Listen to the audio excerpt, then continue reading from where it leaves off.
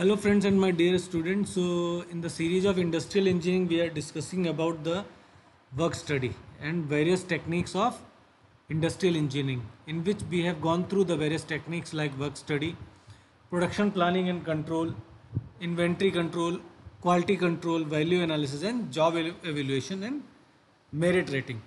So let's see what are the objectives of these various techniques.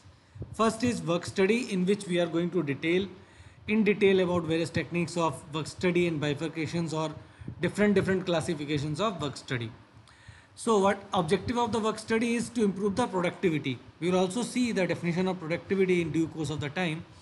But what is the objective of production planning and control PPC? It is to plan, schedule and control the production activities. There are various production activities going on in a whole production system or any organization. So that you have to manage or plan and schedule. Inventory control is a technique in which you have to stock the material at a optimum level means that should not be maximum or minimum so that there should not be any kind of mismanagement uh, at a inventory level because you have to manage all the raw material your uh, semi finished goods and the goods, uh, finished goods as well okay so that inventory should be op- optimized with the help of inventory control technique of industrial engineering Next is quality control.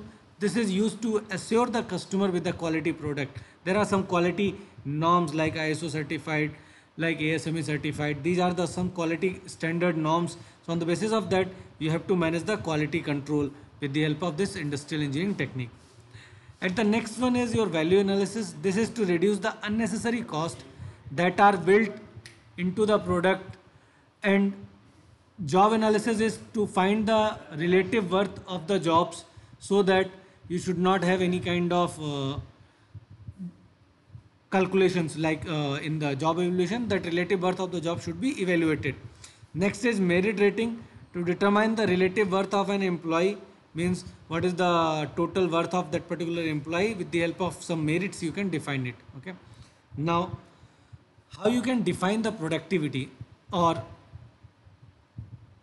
Okay, so this is the productivity means the productivity is a measure of how well the available resources are brought together in an organization and utilized for the accomplishing a set of objective means it is basically called as output by input means output of good or services divided by input of resources. But how you are utilizing the available resources with the help of uh, to accomplish the set of objective that is called as productivity. Okay and productivity versus efficiency. Basically productivity is related to the industry while efficiency is related to the machine. Productivity should be more than one and efficiency will always be less than one. So this is the difference between productivity and your efficiency. Okay? Now how to increase the productivity? The productivity can be increased with the increase in the output with increase in input. Means what you can do you can increase the output with means if you will see this particular ratio then you can increase the output and decrease the input. Means input must be decrease instead of increase okay? Maintaining the same output with the decrease in input that will going to give you the increase in productivity. So the rate of increase in output to be more than the rate of increase in input so the, in this way you can increase the productivity or you will say that increase the profit ultimately. Means in the raw term if you will talk about then you are just increasing that. So what are the benefits from productivity increase? Basically entrepreneurs will increase the high rate of income high market share and corporate image. So these are the uh, if stockholders are entrepreneurs if they are workers then higher wages means their salary will be increased safe working environment if productivity will be increased. Suppliers prompt payment and continuous orders. So the, because inventory is going to be uh, consumed very uh, short span of the time. So in this way you can increase or get the benefit from this productivity increase.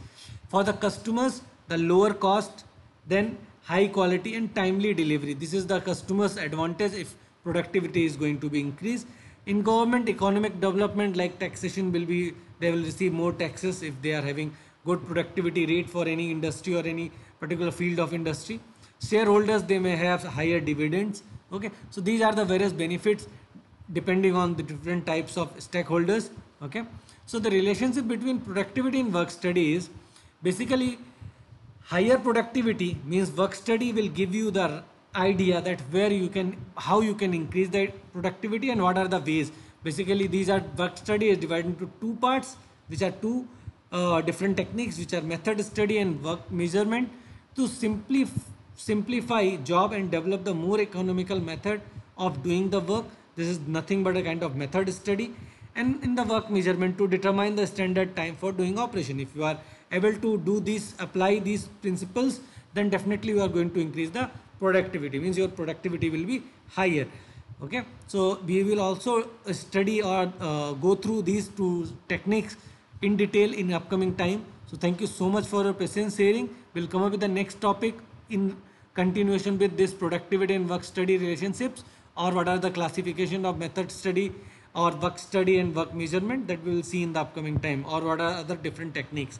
So thank you so much for your patience hearing do subscribe engineering college Banswara youtube channel for more such updates about different branches of engineering like mechanical electrical civil and computer science. Thank you so much